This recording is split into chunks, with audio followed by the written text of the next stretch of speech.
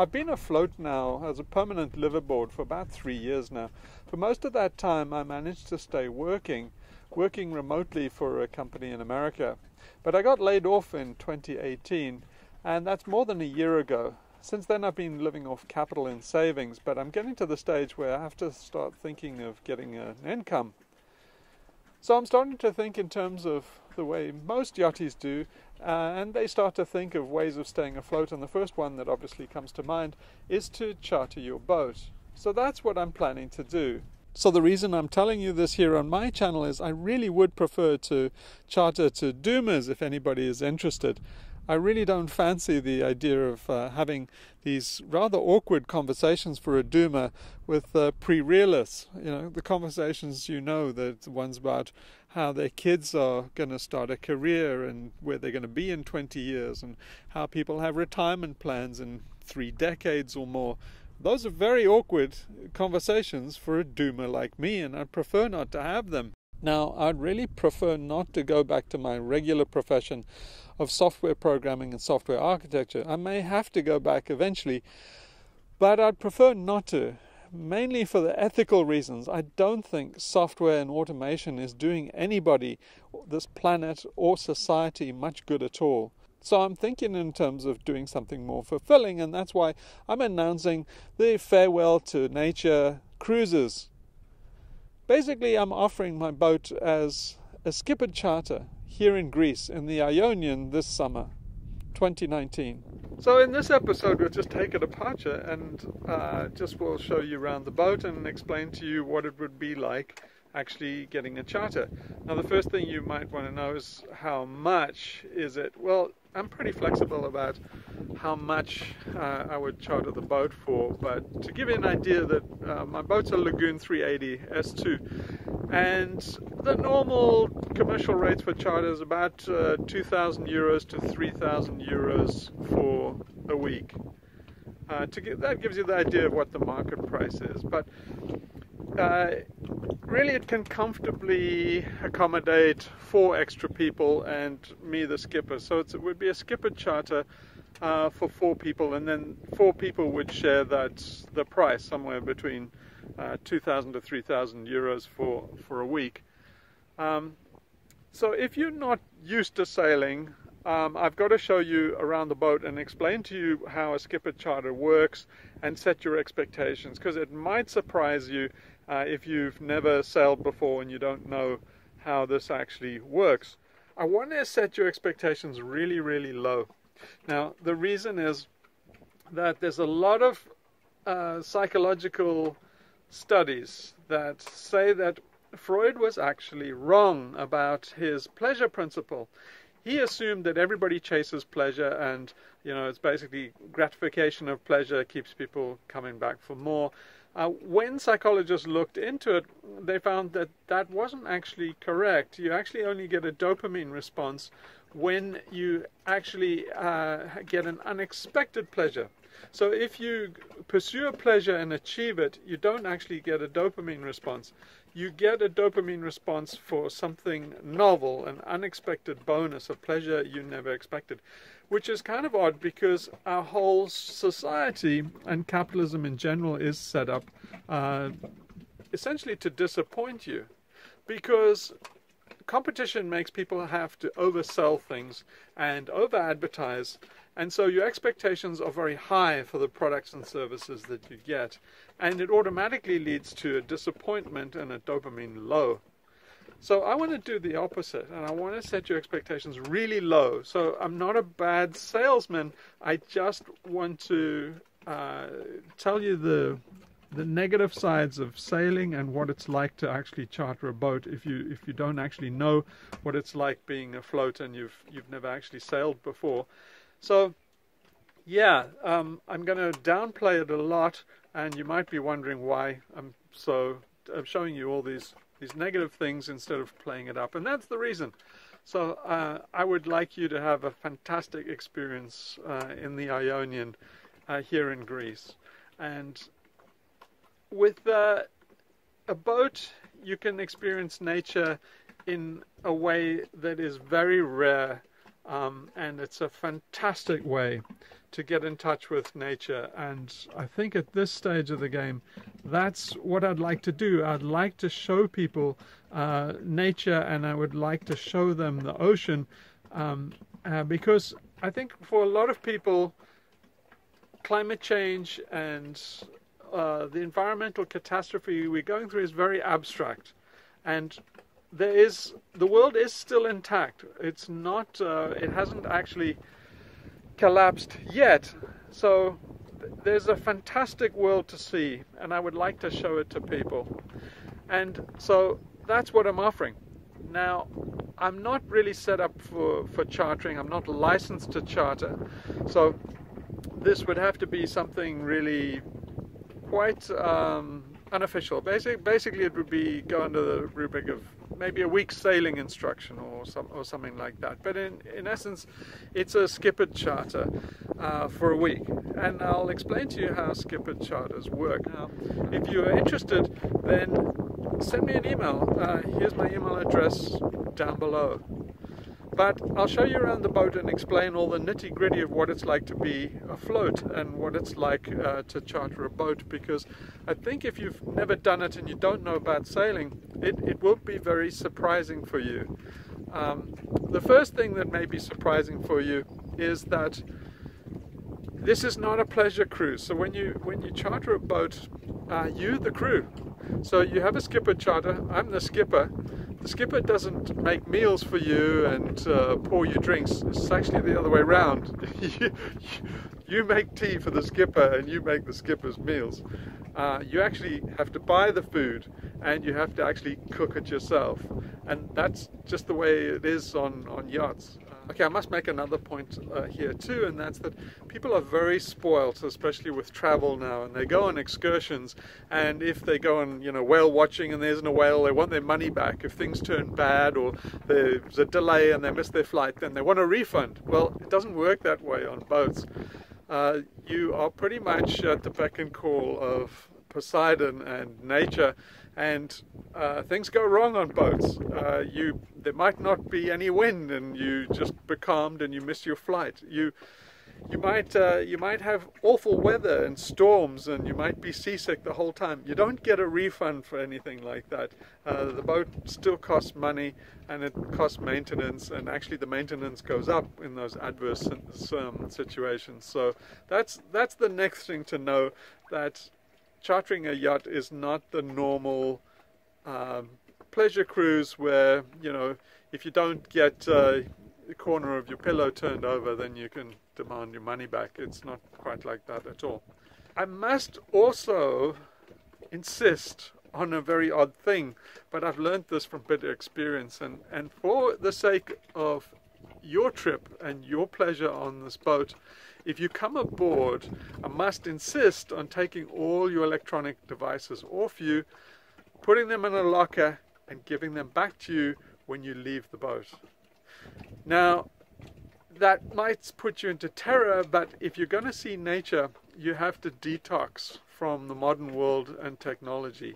But just in general, just just for my sanity, uh, if everybody on board is you know, there's a ping every 10 minutes and somebody's texting and then it's oh you know news from the royal wedding or there's you know Kate just had another baby or something like that. It really really uh, ruins the atmosphere and ruins ruins a trip. I've had people on board that you know the boat's been in trouble and they've needed to suddenly get somewhere with a fender and they've been like oh hang on a minute, I just want to send out this text. Now, you just cannot do that, just from the point of safety.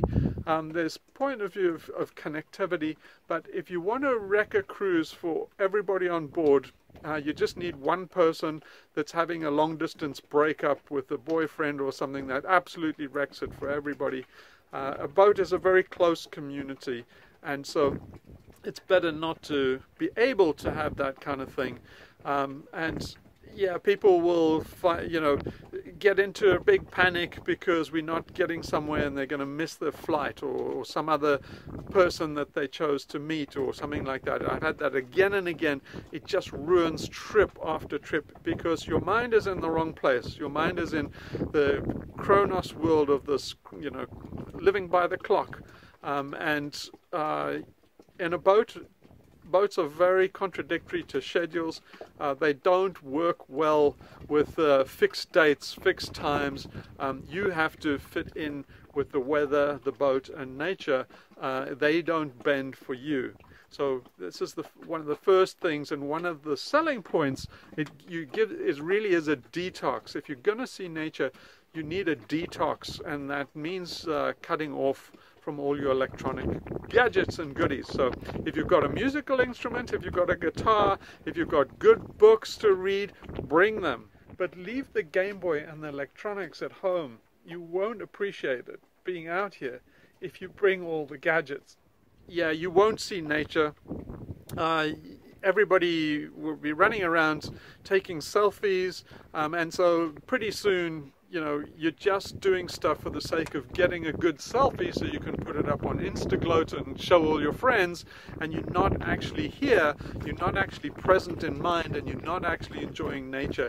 And I want to give you your money's worth, so I need to save you from yourself, and I must insist all electronics they get stashed away at the beginning of the trip and you get them back at the end. Otherwise, you're just not really here and you might as well go to Disneyland and have a virtual reality experience of sailing.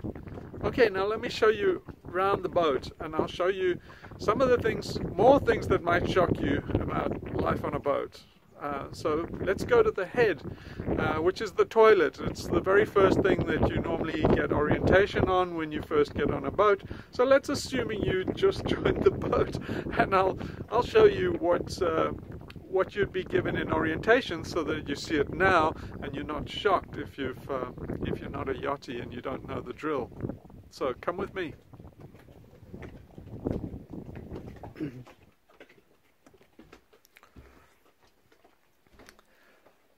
Okay, so these are the cabins here. We can comfortably accommodate four people.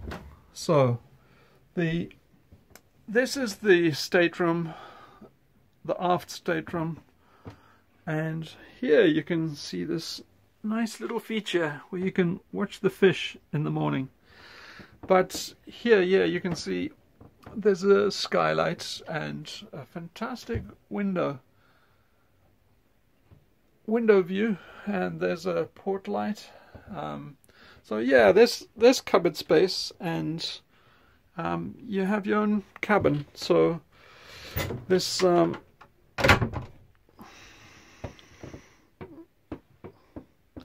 that's pretty much good for for two people and quite comfortable so going forward this is the forward cabin and this is a V-berth. So it's not quite as comfortable and yeah, if you bring four guests, then they share the costs. So whatever the charter costs, um, say uh, 2,000 to 3,000 euros, then you share it amongst four people. So you might uh, be thinking, oh, well, can you just have one and uh, have one person and have it prorated? Well, uh, not easily. So that's not normally done with a boat, and I really wouldn't like to do it because uh, the boat has fixed costs, um, and so it doesn't prorate very easily. You know, um, you can't have one person on board instead of four and run a quarter of the engines, or have quarter of the wear and tear on. So, um, yeah, I I would prefer that uh, it's a normal charter where you have a week's charter for a fixed price, and then you can pack as many people on board as you dare. Is the norm, but I got to tell you that if you have more than four people on board, uh, with me, that makes five um, it's starting to get a little bit crowded. So I would not recommend more than four. Um, and deciding uh, the breakdown on who gets the V berth, uh, this this berth here, which is not as comfortable as that berth. You, um, yeah, it's up to up to you and the people on board to decide. So now this is the head so uh, let me show you how a head works. The, normally with orientation you would be given uh, this bit of shocking information. So this is how you flush a head and this is one of the things you've shown. Um, so switch that over to wet bowl. Uh, you can fill with seawater. Okay. Dry bowl and you empty, empty and flush.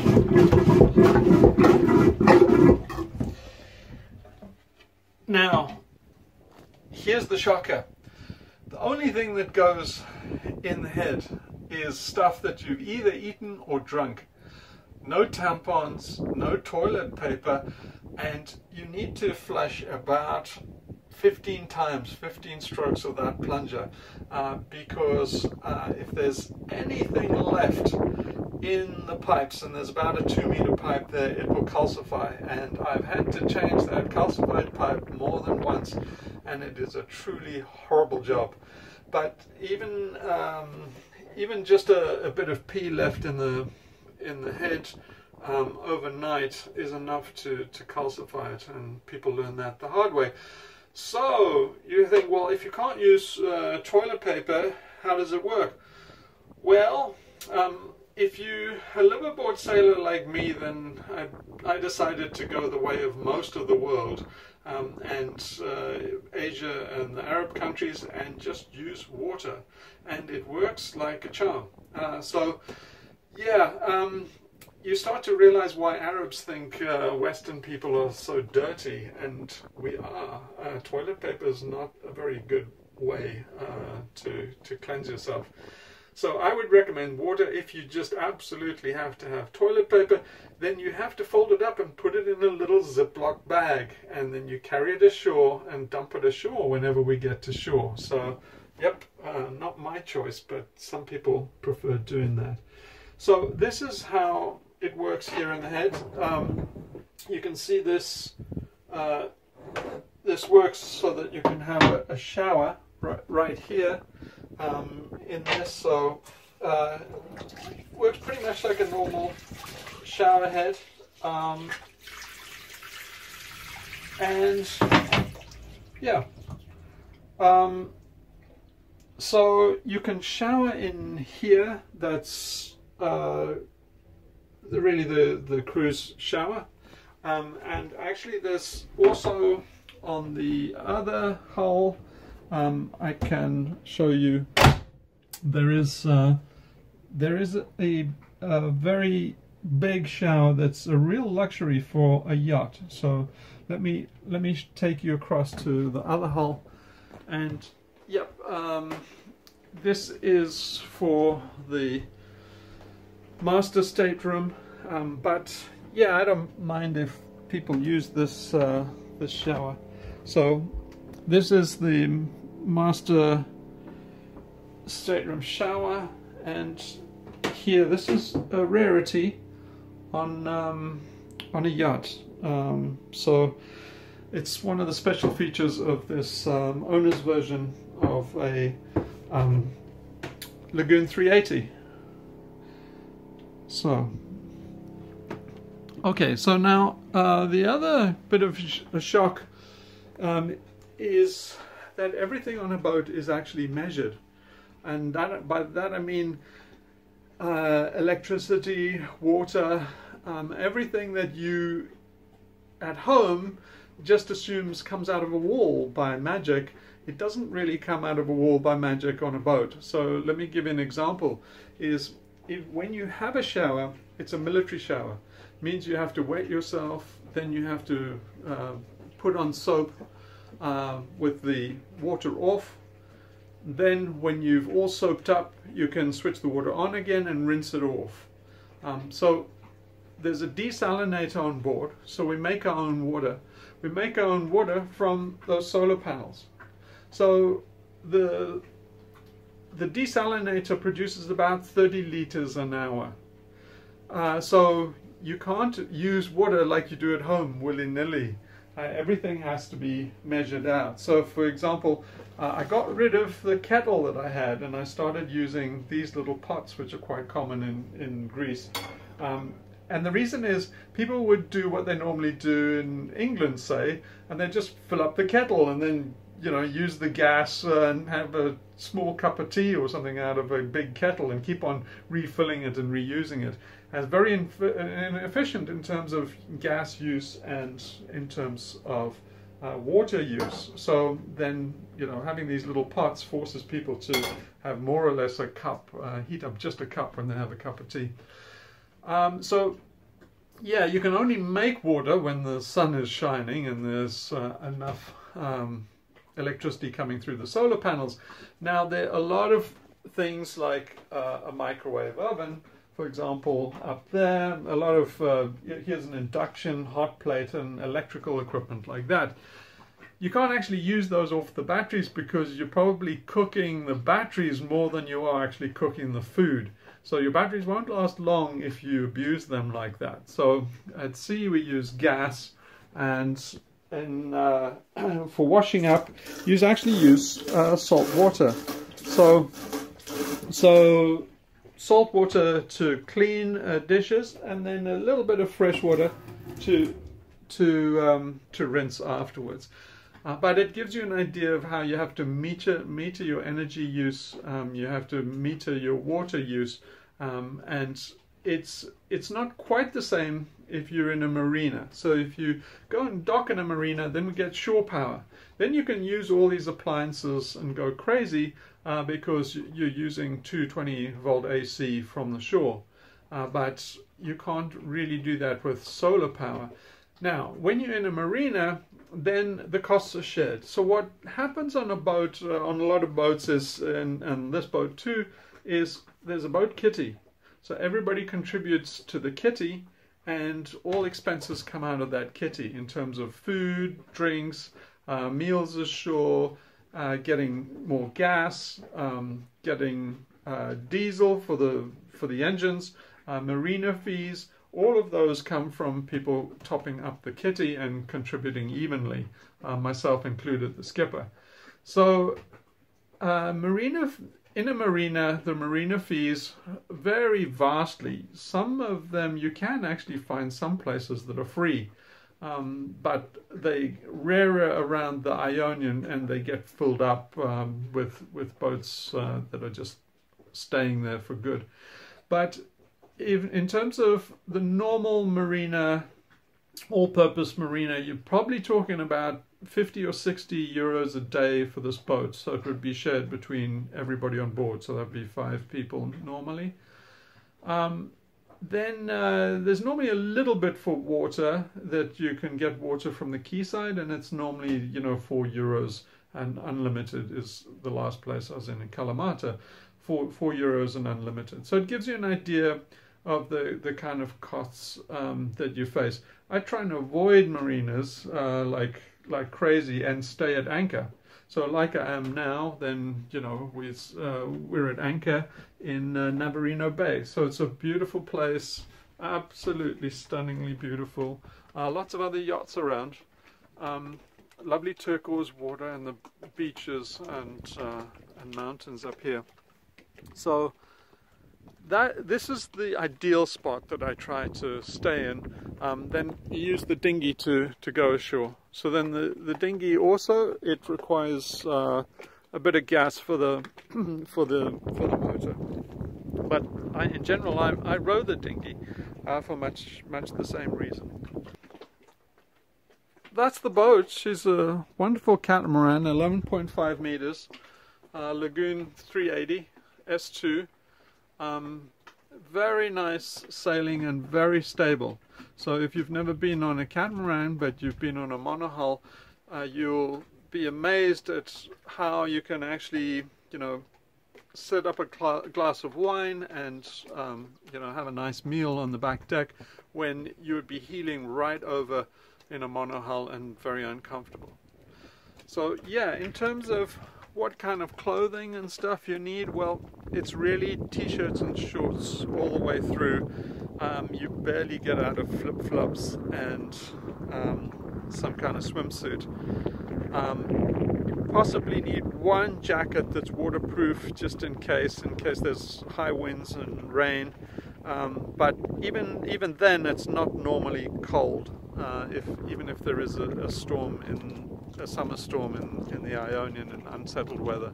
Right, this there's a shower here on the back deck, uh, hot shower.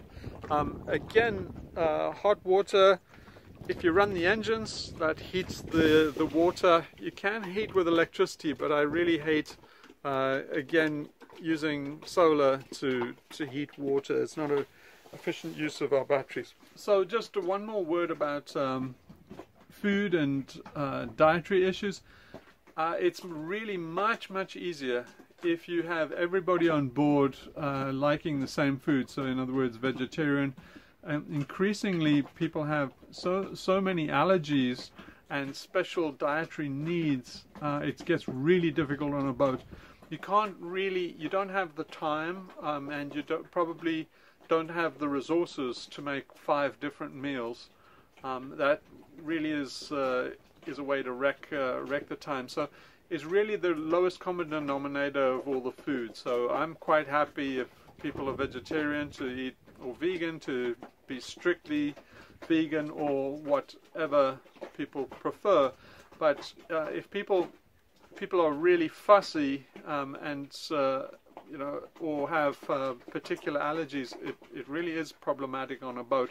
It's it's, it's difficult to turn uh, the boat space into a permanent kitchen and keep on running it, so you can serve up, you know, five or ten different meals a day. Um, that that's one, that's also one of the ways to to wreck a good cruise. So there's a fridge on board, and you can stack it with beer and wine if you prefer. You don't have to drink, but I certainly do, so cheers.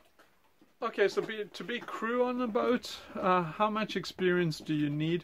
Well, you probably need to be able to swim. I think it's probably not safe if you are, are not a fairly confident swimmer. Um, I would also suggest that uh, you have some idea of whether you get seasick or not. So it's not a very pleasurable cruise if you have to be doped up on Dramamine the whole time. You probably won't have a very good time. So the better your sea legs are, obviously, the more of a fun time you'll have. Um, in terms of skills on a boat and knowledge, yeah, I will train you as much as you like. Uh, it's um, you don't have to know anything. Um, I can actually handle this boat uh, quite comfortably on my own. So you can participate however much you prefer and do as much sailing as you would like and as much training as you would like. So if you're really quick and you uh, manage to get on board by the 27th, I have somebody coming on board on the 27th and he's offered to give a couple of free workshops uh, to anybody who would like them and uh, marine safety and marine first aid. So he's an expert and he can take you up to any level you would like. Uh, but yeah, that's a, a great bonus uh, for free if you're really quick and you in the next few weeks um, you can get out to Greece. But uh, great opportunity that is. And of course, uh, I'll give you any um, seamanship or uh, yacht training that you would would like as well. So this boat is also strictly non-smoking. So that's not only for safety, it's also to protect the resale value of the boat. So if you can't do without a smoke for two or three days, then perhaps uh, you can try vaping. So without a doubt, I'm sitting in the best seats in the house, here right on the pulpit, right at the bow, and it's fantastic here underway. So I've had some fantastic experiences sitting here, especially with dolphins swimming on either side of the hull and often even between the hulls. If you remember in episode 7, the thumbnail with the dolphins underwater, that was actually taken from right over here. I helped my nephew by his ankles, and he went right over the side with his GoPro underwater, and that's how he got those shots. They turned out absolutely fantastic. Anyway, a lot of the time is spent uh, doing relaxing, and one of the best places to relax and uh, to sunbathe is right here on this trampoline. So although this is called a trampoline, it's not really made for jumping on, although the kids really like to. So in terms of kids on board, it's okay to have kids on board as long as they really over about 10, uh, younger than about 10, it becomes a safety issue. Um, and especially with uh, toddlers and babies, this boat is, is not set up like uh, some people who have kids on board uh, set them up. Um, so yeah, it's a little bit too too risky to have kids that can't take care of themselves and particularly um, are not good swimmers. Well, so that's the opportunity I'm offering, and uh, yeah, I hope uh, one or two people um, take me up on it. Um, otherwise, I'm I'm back to the gulag and uh, on the treadmill again, doing software that um, would do no good for man or beast. So, yeah, welcome aboard. I'm looking forward to hearing your response.